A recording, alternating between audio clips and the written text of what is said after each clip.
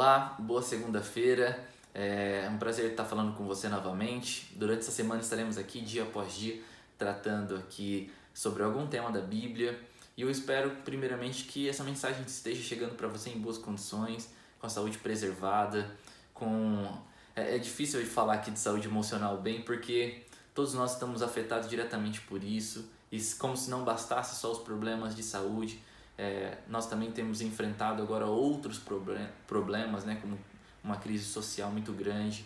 É, o meu desejo é que, apesar de estarmos passando por tudo isso, que esse momento também sirva de reflexão e que nós possamos, ao sair dessas crises, sairmos como uma, uni, uma unidade, né? uma, uma unidade mais sensível uns aos outros e que também reflete o amor de Cristo.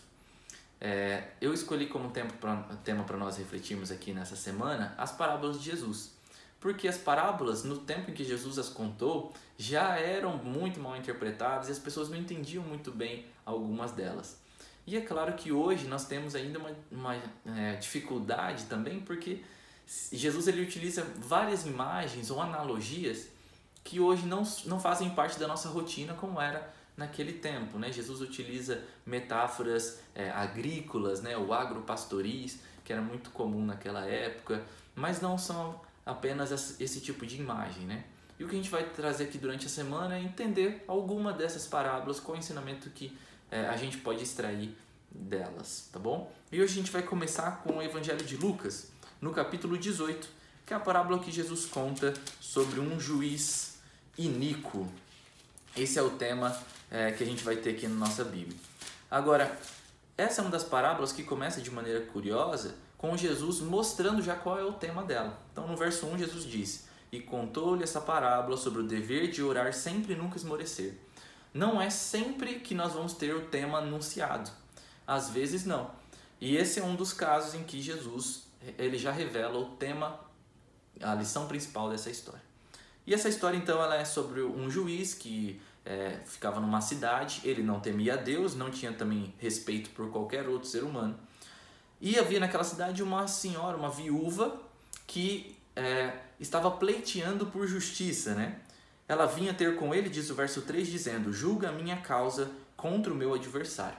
E é claro que viúva, né, é, traz pra gente é, um grupo, traz à nossa mente um grupo de pessoas que já no Antigo Testamento são consideradas muito vulneráveis pela sociedade na época. Então essa é, viúva, ela fazia parte de um grupo que estava sendo, que já era por si só, né, dentro da estrutura social, inferiorizado, é, agora ela ainda tinha um adversário que estava aparentemente fazendo alguma injustiça com ela e ela vai pleitear pela sua causa. Porém, como a gente já viu antes, esse juiz não teme a Deus e nem tem respeito por ninguém. Mas só que com o tempo, diz o verso 4, é, ele diz: Bem que eu não temo a Deus, nem respeito homem algum, todavia, como esta viúva me importuna, eu julgarei a sua causa, para não suceder que por fim ela venha molestar-me. E Jesus, então, ele termina a parábola concluindo o seguinte: Considerai no que diz esse juiz iníquo. Não fará Deus justiça aos seus escolhidos, que a ele clamam dia e noite, embora pareça demorado em defendê-los?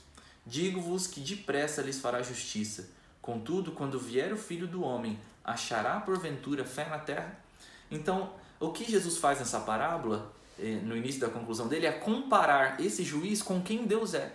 Então, Jesus ele faz essa comparação que é extremamente importante. Aquele juiz, ele demora, e esse é um aspecto em contraste, a gente tem um Deus que depressa lhes fará justiça. Outra coisa, é, aquele juiz, ele não faz justiça porque ele ama a justiça. Ele ama defender aquele que sofre. Ele simplesmente atende o pedido daquela mulher para ela parar de encher o saco. Literalmente é isso.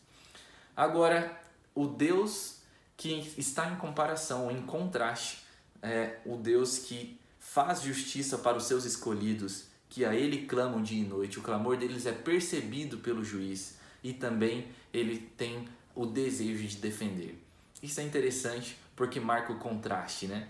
Enquanto aquela mulher ela clama para um juiz que é iníquo e não desiste de clamar, queridos, a visão de um Deus que já está pronto para nos defender, que está pronto para nos auxiliar, que está pronto para é, cuidar das nossas causas, atender os nossos clamores. Esse Deus ele tem uma predisposição para ouvir as nossas orações. Então, o que Jesus está ensinando com essa parábola, ao meu ver, é de que nós devemos continuar clamando, nunca deixar de orar, principalmente quando a nossa angústia for muito forte, porque depressa Deus fará justiça. Esse depressa pode ser diferente para a gente, porque pode não vir no tempo que a gente acharia próprio, mas a justiça vai vir e antes do que a gente imagina. Que Deus abençoe você e que o dever de orar sempre possa ser uma atividade real na sua vida também, porque de fato Deus irá ouvir os nossos clamores e irá fazer justiça por todo aquele que sofre. Que Deus abençoe você e nos vemos aqui amanhã.